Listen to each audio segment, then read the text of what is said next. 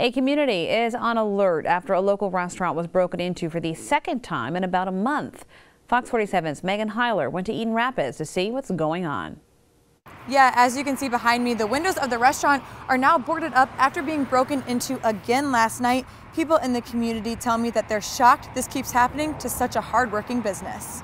And then they finally get their windows fixed yesterday, I noticed.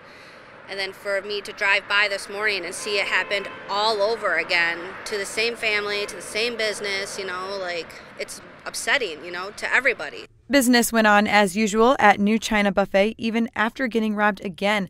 Police tell me the first break in happened in early January. There haven't been any other robberies at businesses in town recently. Man, it's really hard to see them go through that because, I mean, nobody, as a business owner, nobody wants to see their place being broken into, especially two times, you know? The cash register from the restaurant was found just a few blocks away near Jackson and Kimbark Street. Police were at the restaurant this morning and are currently investigating. People who live in Eaton Rapids just want whoever is responsible to be caught.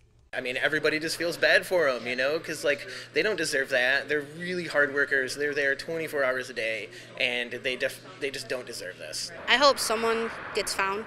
I mean, justice, I guess. I can only imagine, you know, what they're going through, and so I'd hope that, you know, something gets done.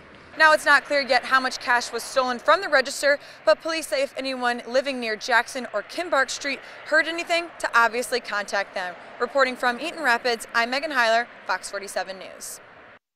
We talked to workers in the restaurant. Now, they did confirm the break ins, but did not want to be interviewed on camera.